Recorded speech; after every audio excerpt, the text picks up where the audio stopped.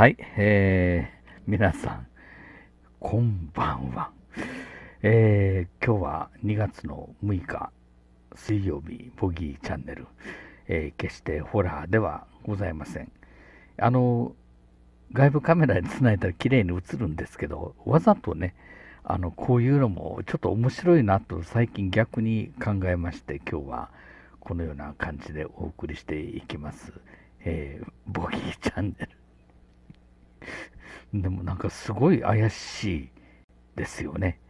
はい、勝美さんが怖いということで、愛国秀さんどうもニラ束ありがとうございます。かなたさん。はい、えー、今日もありがとうございます。今日先ほどまでちょっと外の方で、はい、ある、えー、会合でピッピキピーなお話をしていたんですけど、非常に前向きないい話がいろいろ出てくるようでございまして、まあ、その前に、えー、豊見城のね、あの市議会議員選挙、もうとにかく、えー、今、市長があれですんで、まずは市議の方は、あの何としてでも、えー、保守系の方々を守ろうということで、まあ、いろいろ作戦は立てております。えそれと今月の14日、バレンタインデーの夜に、え開催をされます、え自民党の和田政宗参議院議員との、えー、語らいの夕べ、はいえー、これはあの夕方からですね、那覇の、えー、カクテルプラザというところで、え、ありますが、え、この方もまた皆さんぜひ、え、ご参加をよろしくお願いしたいと思います。さて、今、塩サさんが豊見城市長選挙は作戦の失敗でしたっていうふうにあるんですけど、まあ、豊見城だけじゃなくて、え、まず、県知事選挙、それと豊見城市長選挙に那覇市長選挙。とにかくこの大きな、えー、3つの選挙を取りこぼしてしまったっていうことがですね私はもう本当に昨年はあの悔やんでも悔やみきれないような感じでございました。まああっち系の方々には選挙が負けたのはえー、ボギーが応援してるからだなんて言ってたんですけど、いやいやいや、そう言われれば言われるほど、よっぽど私が目障りなんだなというふうに思ってしまいましたけど、あれはもう確実に、えー、参謀本部の作戦ミスだと私は思っております。で、昨年の11月に、えー、この敗戦の総括を出すとはい、11月末に、えー、敗戦の総括を出すということで、えー、自民党沖縄県連の方は発表していたんですが、えー、11月末を過ぎても12月末を過ぎても1月末を過ぎてもその総括というのが全く出てこないと。まあ、それどころかいわゆるこの敗戦をね引き起こしたまあ言葉は悪いんですけどまあ、戦犯と言われてる人たちの責任の所在っていうのが全く問われないまま、えー、時間だけが過ぎていくという感じでございました。まあ、今までの沖縄のね大事な選挙、えー、国政選挙でも本当にあれだけ負けても誰も責任を取らない。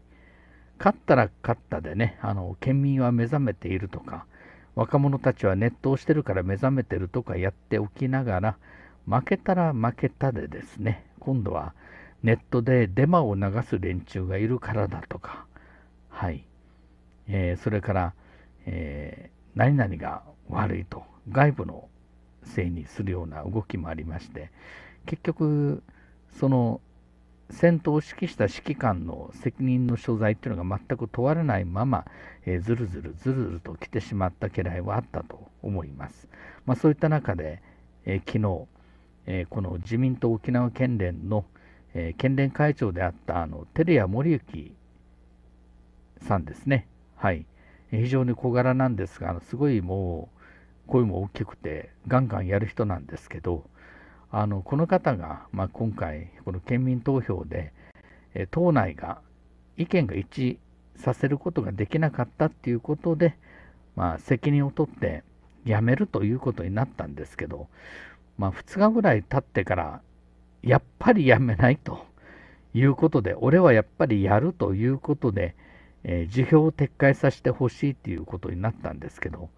いや、もう自民党の、はいえー、県連の、えー、総務会の方では、もう一旦辞表を出してますんで、もうあなたは辞めてくださいっていうことで、全会一致で、あのまた元に戻るっていうことを却下しまして、えー、そのまま県連会長を降りる形になっています。まあ、これがいわゆる一つのけじめだったんかなというふうに私は思うんですけど、まあ、このことによってかなりね、あの自民党沖縄県連っていうのは、すごいフレキシブルに動くようになりましたし、まあ、特定の個人によってコントロールされるっていうのではなく、いろんな方々の意見を取り入れて、あの戦略的に、戦術的にですね、あの柔軟性を持った動きができる組織にあの生まれ変わる可能性が高いというふうにあの思っております。まあ、誰が今後県連会長になるか分かんないんですが、あの我々としてもやはりね、あの今は私、あの党員の端くれですけど、まあ、その、はい、端くれとしてやっぱり協力できれば、どんどんやっぱり協力をしていくっていうことでね、あのこの沖縄の正常化のためにあの盛り立てていきたいなと思っております。さて、カルガモさんが恐怖モードからノーマルモードへ画面が回復しましたっていうことで、突然戻るんですよね。ちょ、ちょ、ちょっと、ちょっとあの、飲み物を一杯飲ませてください。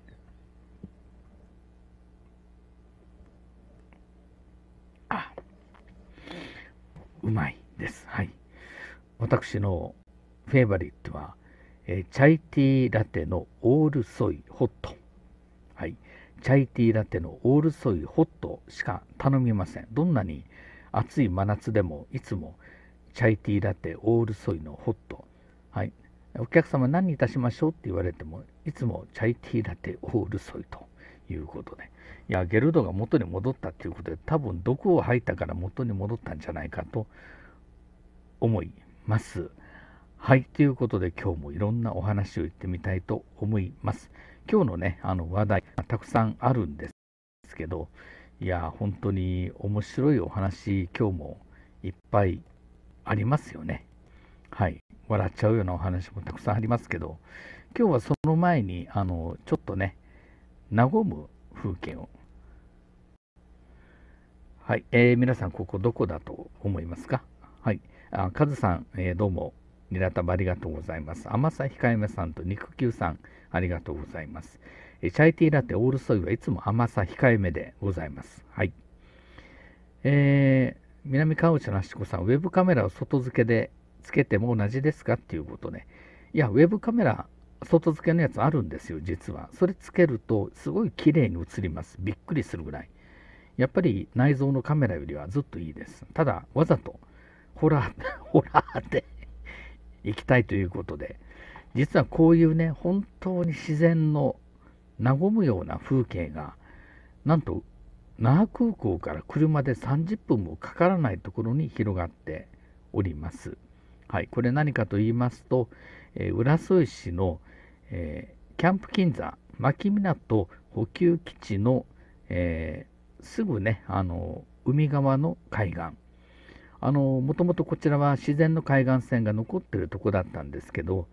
え、西海岸道路を作るために一部埋め立てをして、え、2000メーター余りの直線道路を作っちゃったんですよね。ただ、あの道路を作っただけで、もともとのそういった干潟はそのまま残っております。そうですね、塩沢さん、入島。まあ、このようにあの非常に美しい風景、そしてずっと向こうまで続くこの一直線、あの手前に見えるのはこれ、最近でき始めた自然の砂浜なんですけどあの決して砂を持ってきて作った砂浜ではないんですよ。何もなかったところに自然に今こうしてあの砂浜ができ始めてる。そしてこの海、皆さんのところから見えると思うんですけど、この海をですね、まあ、玉城デニー知事はあの埋めちゃって軍港にしようというふうに言ってるんですよね。で私は正直言ってあのそういった埋め立ての利害関係者じゃないのではっきり言わせてもらいますけど私、ここをね、あの、すごい走って気持ちのいい直線道路なんですよ。とにかくオートバイとかでね、あの、風を感じながら走ると、本当になんか、あの、沖縄っていうか、南の島に来たなっていうような感覚をね、味わえる綺麗な道なんですけど、ここのね、海側っていうのは、ちょうど川がないもんですから、この辺りはですね、あの自然のままの美しい海がそのまま残っております。えー、この干潟もですね、えー、歩いてだいたい15分ぐらい沖までずっとこの浅瀬が続いておりまして、え、干潮になるとここは干上がります。で満潮になりますとこうして潮が満ちてくるんですけどもうとにかく海の透明度がすごい今日私があのツイッターに載っけてる動画はこの場所で、えー、ございます。で、これですね、あの沖縄の砂が今、砂浜見えてるんですけど、この沖縄の砂というのがまず何でできてるのかっていうことを今日皆さんにお見せしたいんですが、はい、基本的に沖縄の砂の原材料はこれでございます。あの、サンゴ。はい、主にサンゴやえ貝のかけらなんですよね。まあ、こういうゴツゴツしたものがなんで砂になるんですかというふうに思われるかもしれませんが、えー、この波の力っていうのは偉大です。長い時間をかけてこういった、えー、サンゴや、えー、貝のね、歴が、はい、どんどんどんどん波に砕かれていくんですよね。で波に砕かれていきますと少し細かくなっていきます。こんな感じですね。トン。はい。えー、先ほどのものが、えー、波に揉まれて、まあ、多少細かくなると、えー、こういう感じで、あのさっきよりは粒がだいぶ、はい、細かくなってると思います。それがまた、え何十年、何百年っていうね、時間をかけて、え波に揉まれ続けますと、今度はもう少し細かくなります。こういう感じです。はい。えー、元のね、サンゴの形が少しだけやっぱり残ってるのがわかると思いますけど、こういう細かくなりますと皆さん、この貝とか、はい、とんがった貝とかですね、貝殻があちこちに見えるようになります。はい、このようにあの貝殻もね、あの砂の一部となりまして、まあ、こういったあの細かな砂が波打ち際であの潮騒に現れ、そして沖縄の強烈な太陽にさらされることによって真っ白に漂白されていくんですよね。そしてこれが、えー、細かく砕かれるとこういうふうになります。はい、これがあの、ね、沖縄に来た人たちがみんな見慣れてる沖縄の砂なんですけどあの湿ってる時はこうやってちょっとまあ少し茶色っぽいような色をしてるんですけど、これが乾きますと純白に輝きます。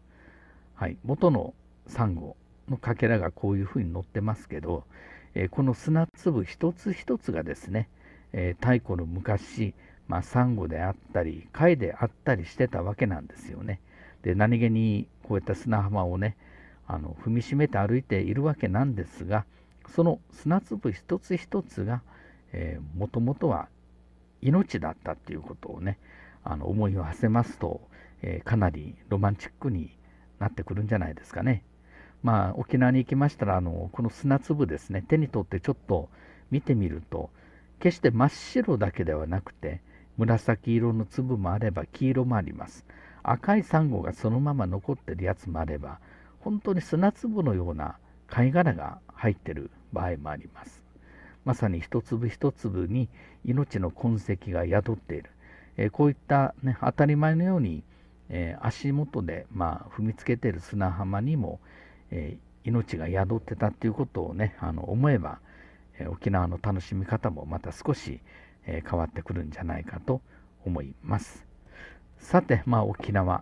て言えばいいことばっかりじゃございませんね。最近あの巷で何かと騒がしてるこういった人たち。いやもう砂粒どころじゃないですよねこれは。砂粒ではなくてゴロつきというんですかね。まあ、わざわざ50万ね船賃をかけて、えー、関西から沖縄に半吉闘争に来た人たちがこういうふうにまあいらっしゃるんですけどいや砂とセメントは全く違いますよね。はい、こういった車も来ておりました。いやー、なんかすごい香ばしいですよね。これはあの、辺野古の、えー、海側のテントのね、もう一つの方、カヌー隊の出撃基地に止まってる、あの、関西生コンの車なんですけど、なんでハングル文字が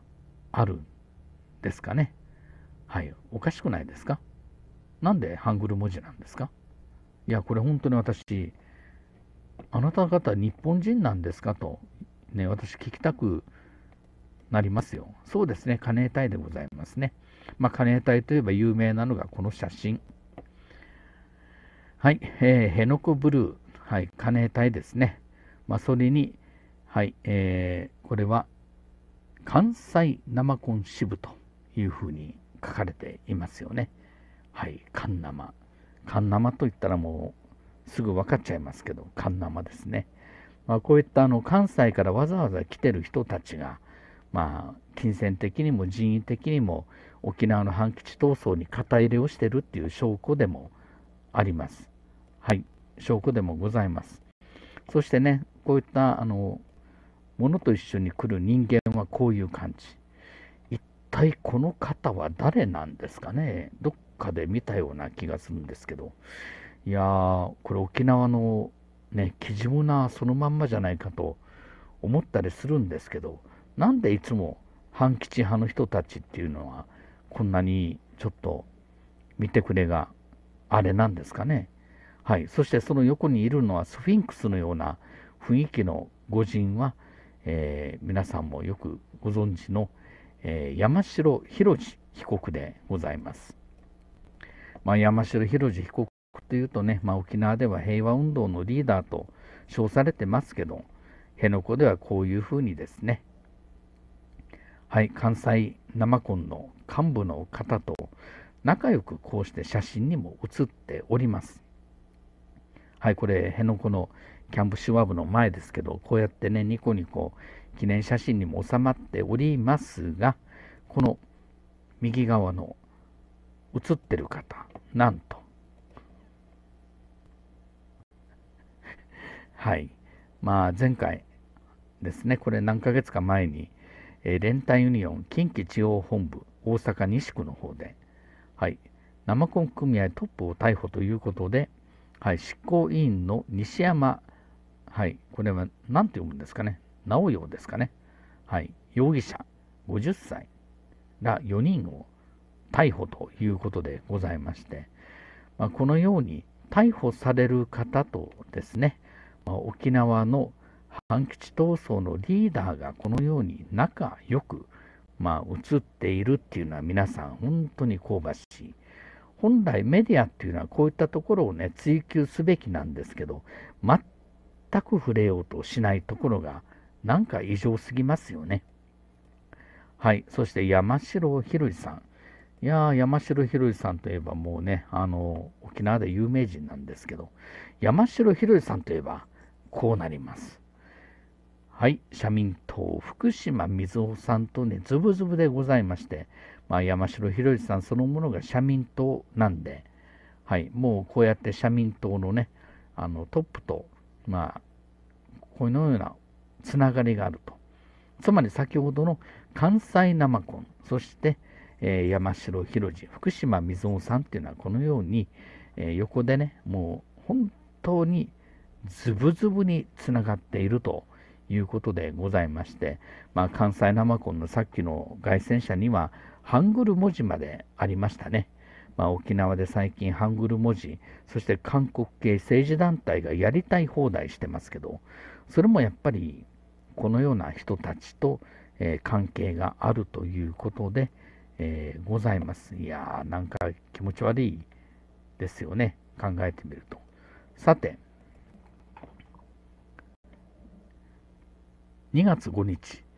関西生コン支部16人逮捕。滋賀県警が恐喝未遂容疑ということで、これ昨日、まあ、ネットの中では大ニュースとして、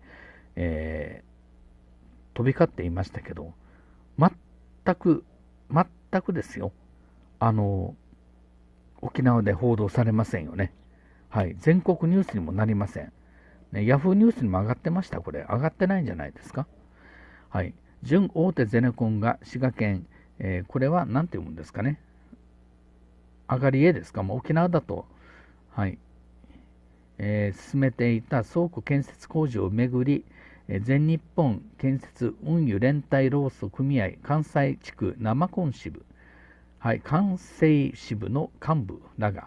提供する提携する共同組合の加盟企業との供給契約を結ぶようゼネコン側を脅したとされる事件で、滋賀県警が恐喝未遂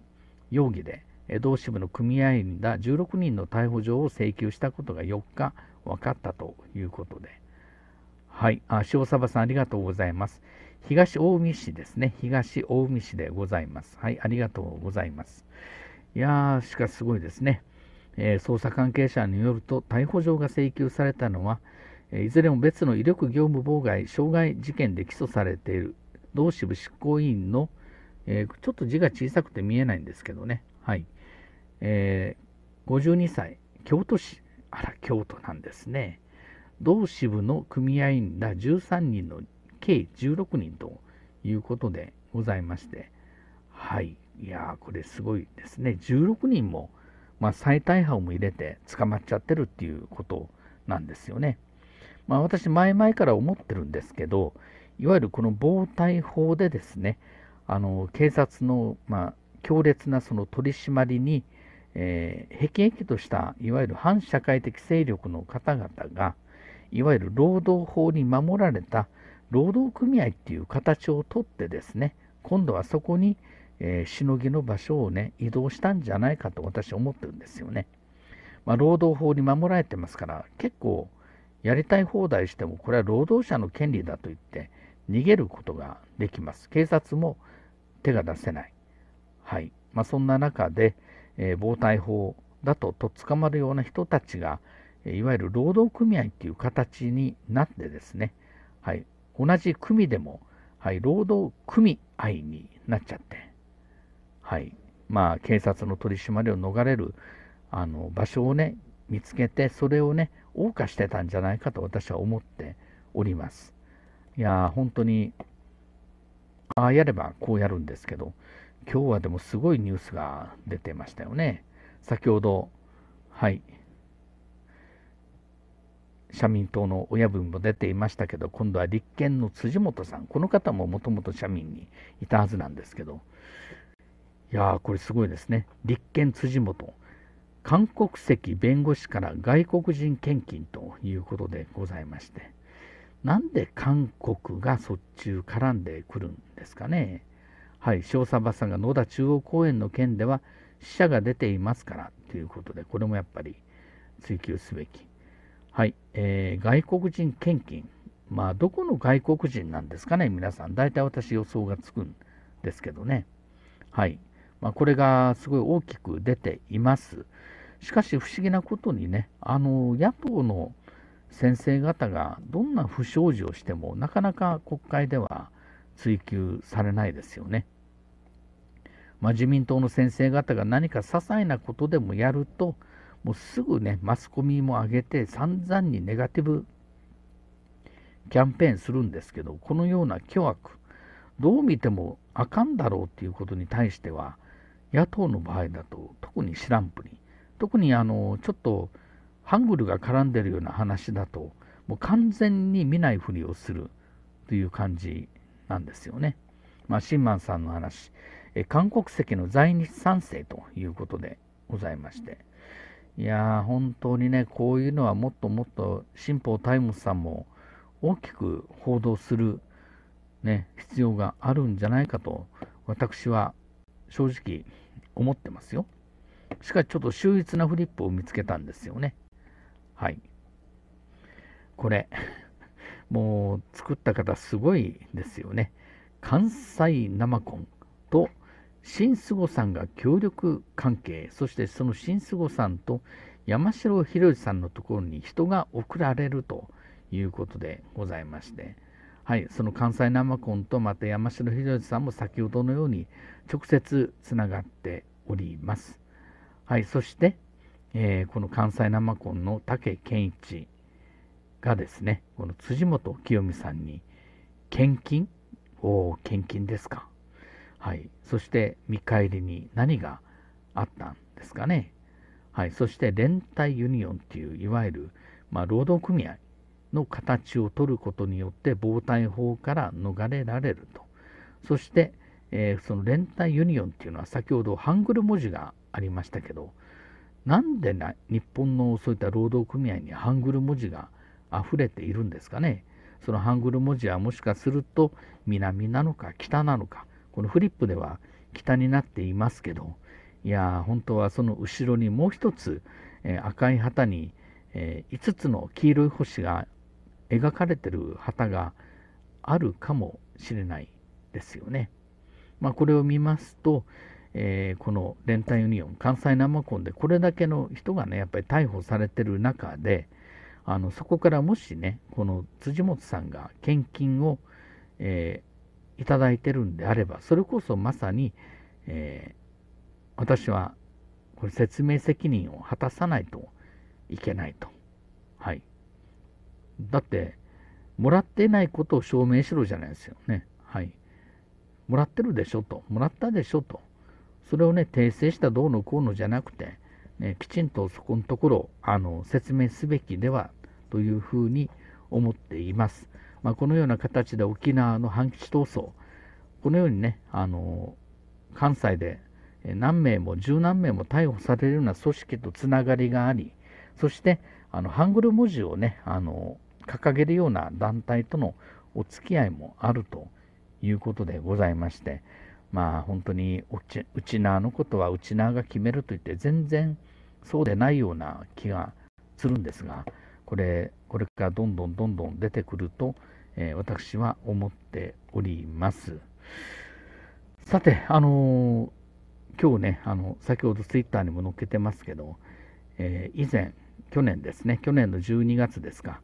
え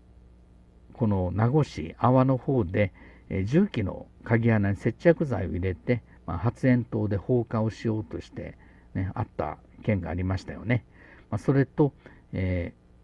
那覇の、え、泊まりで、え、自衛隊の地方連絡本部の1階の窓ガラスが割られ、発煙筒が投げ込まれ放火された事件もありましたね。そして、えー、今度は名護市の名護漁港で、えー、海海保、はい、海上保安庁のゴムボートに発煙筒で放火をしようとしたということで、1人の男が捕まりました、60歳。そして完全黙秘、弁護士を呼んでくれと。しかしこれ、ま、今日の午前中の報道では名前が発表されてなかったんですけど、まあ、NHK さんが発表してくれたら、なんと県外の活動家ということでございます。今、皆さんが一生懸命名前からググっているんですけど、あまり情報が出てこないですよね。この方結構ね、結構私はかなりの手だれ今までね表に出ずにもうとにかく陰でねあの一生懸命動いてた方じゃないかなというふうに思うんですよね。はい。しかしあまりにもこの手口が、ね、同じような手口を使ってわざと共通の犯人ですよっていうふうにまあ、悟られるようなことをしてるっていうのはあまりにもちょっと素人じみてるとこもあるんですけどこういったのももしかすると何らかのね偽装工作の可能性があります。本当は別な、ね、方が犯人でその、ね、手口を真似る真似ることによってこの男が全てをねかぶるというような本当の犯人はまた別にいるという可能性もないとは言えないと思います。ね、これほどネットの中にも名前も出てこないような用意周到な方がですねわざわざ同じ手口あの阿波の県それから名護漁港そして、えー、泊まりの、えー、地方連絡本部の放火事件すべて発煙筒が絡んでるんですよね。はい、わざわざ、ね、同一犯だと思わせるような犯行を普通やらないと思うんですよ。あえてあのやるんであればえ捜査当局の目をねあの混乱させるために違う手口を使うはずなんですけどなぜかこの3つ同じ手口を使っています。そこが私がちょっとね、あの、怪しいんじゃないかと。本当の犯人別のとこにいて、その方、とんでもない野郎だったりするんじゃないかというふうに思ったりするんですよね。まあ、今皆さんが一生懸命ググって名前調べていただいてますけど、まあ、確実にこれだっていうまだ話は出ていません。まあ、今後また皆さんのね、あの我がネットアシスタントの皆さんの調査能力、まあ、そこからいろんな話がまた、え、出てくると思いますけど、ぜひまたいろいろお寄せいただければ、ね、いいかななんてね、思っております。いや、しかし本当に怖いですよね。まあこんな外から来た連中がですね、沖縄で好き勝手やる、あの県外から来たこのような破壊活動をするような方、そして国外からはね、あの派手なピンクの、えー、ベストをつけて学校に乱入するような連中、それに対して何のあれもね、防止策も働かなかったっていうことで、そしてなんとなんと、えー、今、えー、私、教育委員会から報告書をもらっているんですけど、あの問い合わせの中には誰が手引きしたのかちゃんと答えてくださいっていうふうに書いてあったんですけど、えー、学校側は教育委員会何て言ったのか分かんないんですけど通訳の方が訪ねてきたなんて言ってましたけどいやいやいやいや独自調査でですね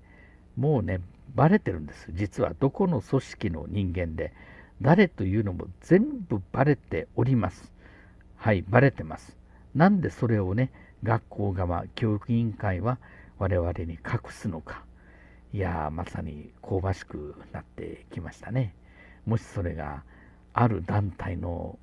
方だとしたら、まあ、学校側はそういった団体とね、あのつながってると言われても出し方のないことではないかななんて思ってますけど、まあ、この一件、あの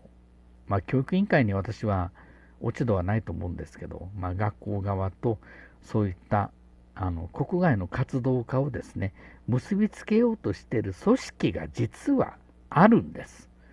はい、ある。しかし我々にその組織の名前は、えー、学校側、教育委員会は伝えなかった。それがどういった意味を持つんでしょうかね。よっぽど我々に知られたらまずいことなんだなというふうに思いますが、まあ、隠せば隠すほど傷口は深まると私は思っています。